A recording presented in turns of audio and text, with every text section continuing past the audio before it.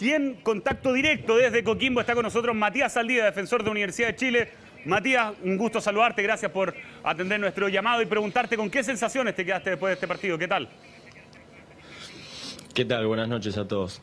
No, bueno, por un lado, obviamente eh, no es lindo perder, no es lindo empezar perdiendo, pero por otro me deja tranquilo que las cosas que venimos trabajando, muchas salieron en cancha, hay que seguir por este camino, es un equipo en formación, así que hay que estar tranquilo, hay que, hay que dar tranquilidad en este momento, seguir trabajando y, darle forma al equipo para que arranque de gran manera el torneo. Estos amistosos no van a servir mucho para, para ir mejorando día a día.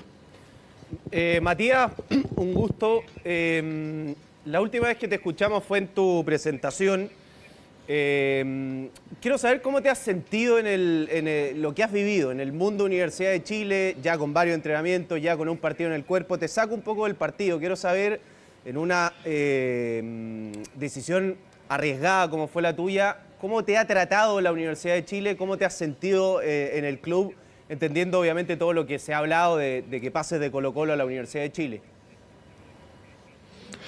La verdad que estoy muy agradecido a, primero a la gente del club que, me hizo sentir muy cómodo el primer momento, a mis compañeros que me integraron muy rápido, después a la gente que también, por más que haya, por más de mi pasado, digamos, la verdad que, me recibieron muy bien y espero retribuírselos en la cancha. Eh, hoy fue el primer partido, me sentí bien, es un partido de pretemporada obviamente que, hay que mejorar muchas cosas, pero, pero estoy muy cómodo la verdad en el club. Hola Matías, Juvenal por acá, gusto saludarte. Yo tengo dos preguntas. Hola Juve. Eh, ¿Cómo estás físicamente? ¿Cómo te encuentras muscularmente? ¿Cómo estás en velocidad? Esa es una. ¿Y, en qué momento de la pretemporada está, la U de Chile? ¿Están eh, eh, mayoritariamente en lo físico, ya en lo táctico, de pleno en lo futbolístico? Cuéntanos un poquito.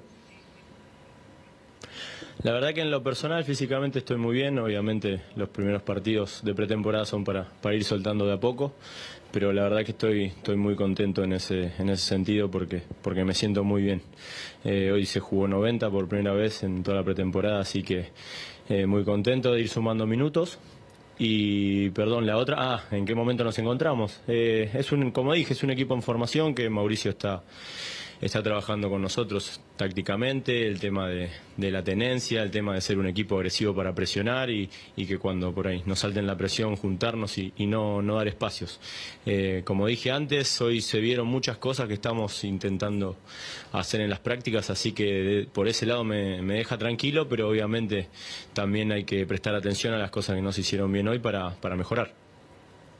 ¿Qué tal Matías? ¿Cómo estás? Buenas noches.